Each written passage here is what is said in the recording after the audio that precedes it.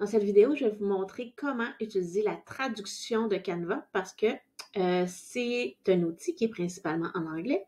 Donc, euh, ce qu'on va retrouver, les modèles vont souvent être euh, en anglais et non en français. Donc, si c'était un calendrier de 2024 que je veux choisir, donc je veux choisir un modèle et j'avais trouvé que celui-là pouvait répondre à certains de mes besoins. Donc, il y a beaucoup de choses à traduire dans ce, dans ce modèle-ci. Donc, je vais le choisir et je vais vouloir le personnaliser.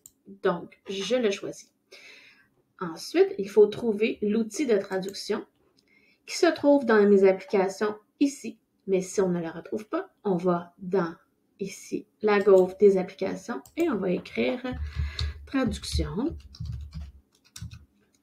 Et là, on va trouver l'outil de traduction. Là, il faut faire attention sur ce qu'on va choisir. Je veux choisir ma langue, ça, ça, ça, va. Je veux le choisir en français et je veux que ce soit toutes les pages qui sont traduites. Donc, je vais choisir toutes les pages. Et petite chose, avant de peser sur traduire, qu'il faut aller vérifier, ce sont les paramètres. Je ne veux pas dupliquer les pages pour la traduction, donc je ne veux pas garder de modèle en anglais.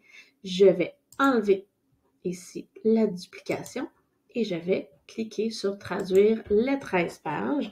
Donc, ça prend quelques petits instants et là, on a notre modèle qui est traduit. Par contre, ça ne crée pas de miracle, donc on part de l'anglais pour aller au français et il se peut que certaines choses soient mal traduites. Comme on voit ici, euh, lundi, mardi, mercredi, ils ont été euh, lundi, euh, mercredi, jeudi, samedi, dimanche, parce que Sunday, soleil, c'était mal traduit. Donc, il va falloir que je retravaille mon modèle, mais quand même, je n'ai pas eu à tout faire ce travail Donc, on peut penser que j'ai quand même économisé du temps.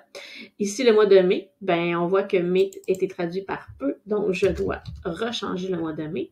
Mais quand même, c'est un outil de traduction qui nous permet d'aller un peu plus vite que de débuter une création à partir de zéro.